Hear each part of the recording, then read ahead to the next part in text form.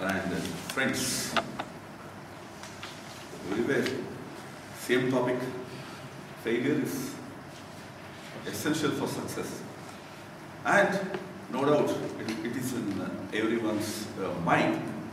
Uh, but the question is, how many people will encourage you when you fail?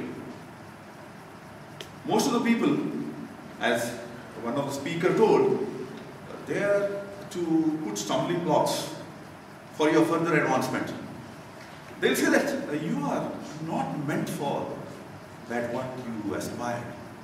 You took a wrong decision. You changed the course. But you, as an individual, you are a dreamer. You know where you should lead, which goal you must achieve. That's why, always in our life, past has to be just a, a learning experience.